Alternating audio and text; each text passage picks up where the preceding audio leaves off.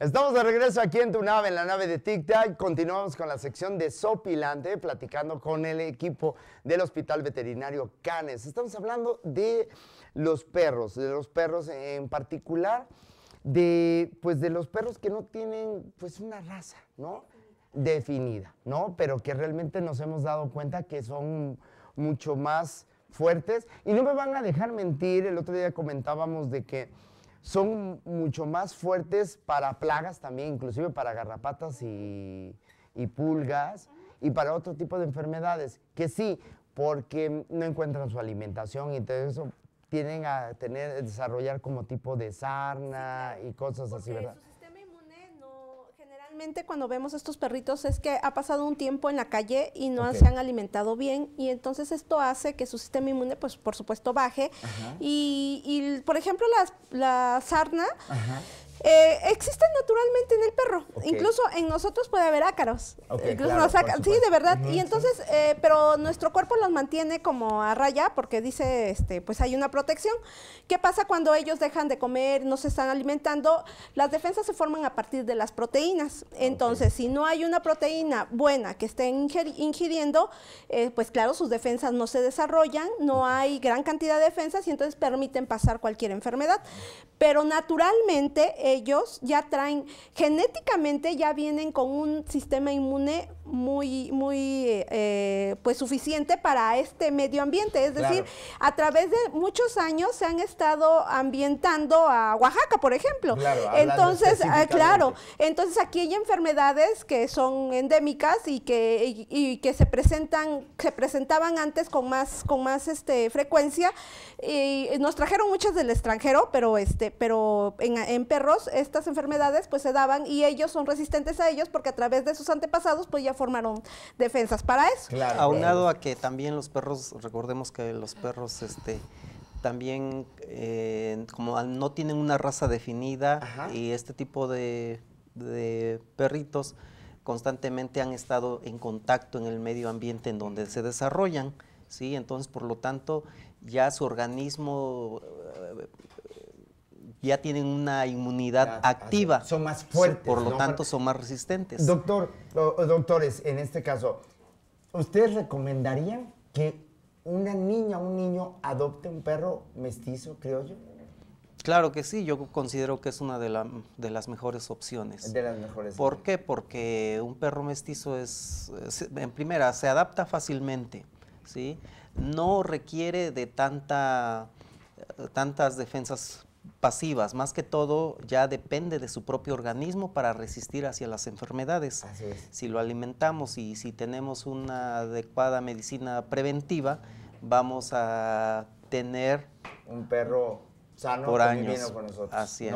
Así es. Y, y entonces sí podría ser una recomendación que ustedes pudieran dar para que Claro, eh, muchas veces cuando vemos a un perrito de la calle, pues generalmente lo encontramos flaquito, como bien dice, con algún problema de piel, pero una vez que lo llevan al veterinario, pues Mingo es la mejor muestra de, sí, tengo un perro que es... Sí, o sea, llegó con sarna, de, era sarna de, de, modésica, entonces de las más fuertes, se le dio tratamiento y, ahorita Mingo es el perro más sano y más bonito, de verdad que lo vemos y, es parece... Más juguetón, parece un perro de raza. Parece de raza. Y, de verdad, nosotros tenemos muchos pacientes que son este criollos y, las personas dicen que cuando lo ven en la calle dicen, ¿qué raza es? O sea, de verdad, no tienen raza, pero son tan bonitos. Cambian radicalmente. Sí, o sea, con un poquito de cuidado es maravilloso en ellos. Sí, y de verdad es increíble ver esta, esta parte. Además, también eh, no me van a dejar mentir, los perros de raza son inventos del ser humano que los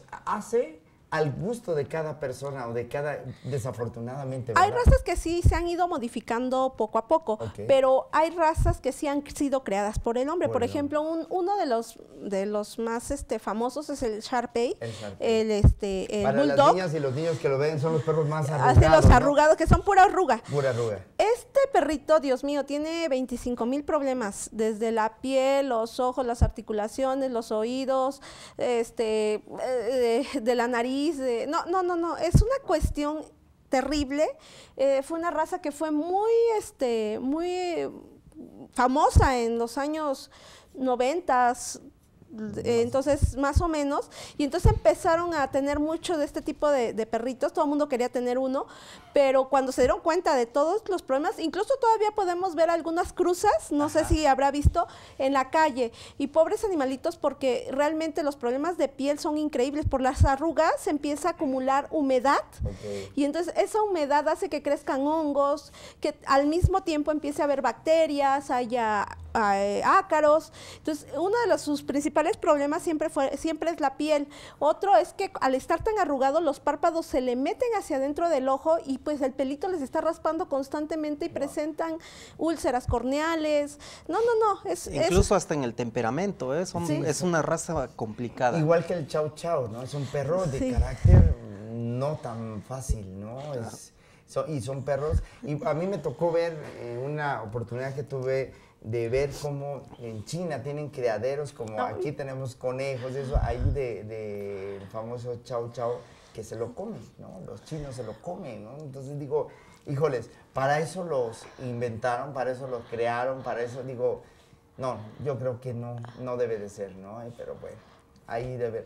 ¿Alguna raza que ustedes consideren que es... Mm, eh, algo idóneo para una niña o para un niño que podríamos hacer? ¿O nos vamos más a recomendarle la adopción de mestizos? Bueno, existen diferentes tipos de razas y cada uno tiene sus características propias. Es decir, o sea, si yo tengo un niño que es un niño hiperactivo, que quiere todo el tiempo estar jugando, pues seguramente recomendaría un perrito, un dálmata, y tengo el espacio, por supuesto.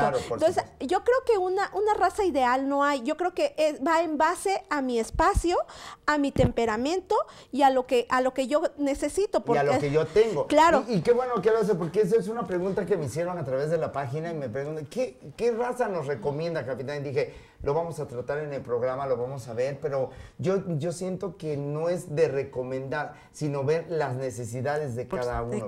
y la edad también del niño, ¿no? Porque, por ejemplo, para niños que son muy pequeños, todavía no están conscientes. Claro.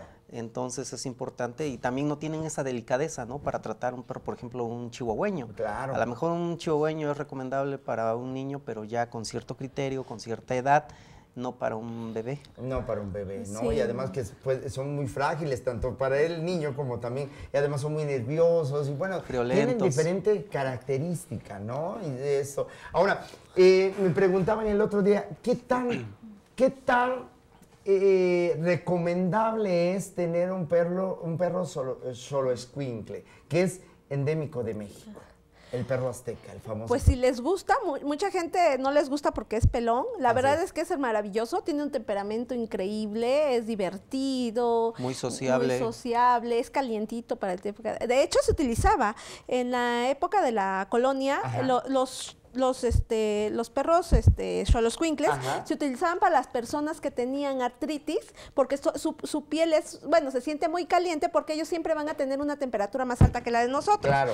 Entonces, eh, lo utilizaban para, para tenerla, tenerlo junto y de esa forma calentarse las manos o los pies. Er, es, es, es, una forma en que se utilizó el Xoloscuincle. Porque a falta de su pelo eh, se siente más caliente. La temperatura, porque los demás perros eh, hay como un aislamiento entre el pelo, y, la piel. Eh, no es que tengan una temperatura más alta, sino la temperatura es la misma. Un perro puede variar entre 38.5, 39 la temperatura, cuando la de nosotros es entre 36 y 37. Entonces sí está uno, un poquito más de un grado arriba. Entonces por eso se, utilizaba para este fin. Es un perro muy lindo, muy divertido. Por supuesto que tiene sus problemas propios, son pocos. Empezando por la piel.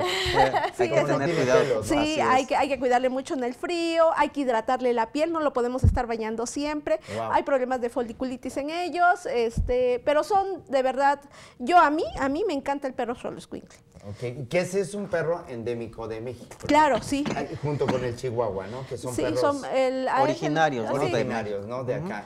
Claro que el, chihuahua, el chihuahueño se ha ido modificando a través del tiempo, se fue seleccionando los más pequeños, los más pequeños y ahora tenemos una raza sumamente delicada.